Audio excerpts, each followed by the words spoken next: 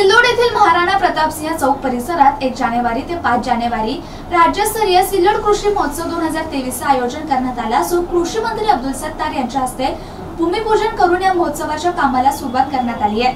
येत्या दहा दिवसात महोत्सवाची तयारी पूर्ण करावी असे निर्देश मंत्री अब्दुल सत्तार यांनी संबंधितांना दिले आहेत या महोत्सवामध्ये एकूण सहाशे दालने असणार आहे तसेच सायंकाळी शेतकऱ्यांसाठी आणि महोत्सवामध्ये सहभागी होणाऱ्या नागरिकांसाठी विविध प्रबोधनात्मक आणि सांस्कृतिक कार्यक्रमांचं आयोजन करण्यात आलेलं आहे. जास्तीत जास्त शेतकऱ्यांनी या महोत्सवास भेट देऊन येथील चर्चासत्रे प्रदर्शन प्रात्यक्षिके याचा लाभ घ्यावा असं आवाहन कृषी मंत्री अब्दुल सत्तार यांनी केलंय. यावेळी उपनगराध्यक्ष अब्दुल समीर जिल्हा बँकेचे उपाध्यक्ष अर्जुन पाटील गाढे बाळासाहेबांचे शिवसेनेचे गटनेते नंदकिशोर सहारे उपजिल्हा प्रमुख किशोर अग्रवाल नॅशनल सूत गिरणीचे संचालक अब्दुल आमेर अब्दुल सत्तार राजेंद्र ठोंबरे सयाजी वाघ विशाल जाधव माजी नगर अध्यक्ष पांडुरंग दुधे तालुका कृषी अधिकारी ज्ञानेश्वर बर्दे सिल्लोड कृषी उत्पन्न बाजार समितीचे सचिव विश्वास पाटील नगरसेवक रौफ बागवान यांच्यासह अनेकांची उपस्थिती होती. Gajanan Gupta MCN news Ajintha.